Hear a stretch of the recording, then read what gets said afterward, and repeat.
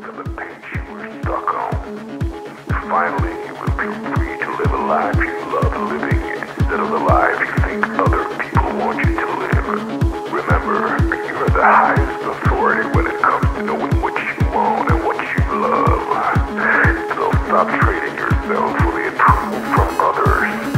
Ladies and gentlemen, weirdos and geeks, please repeat after me.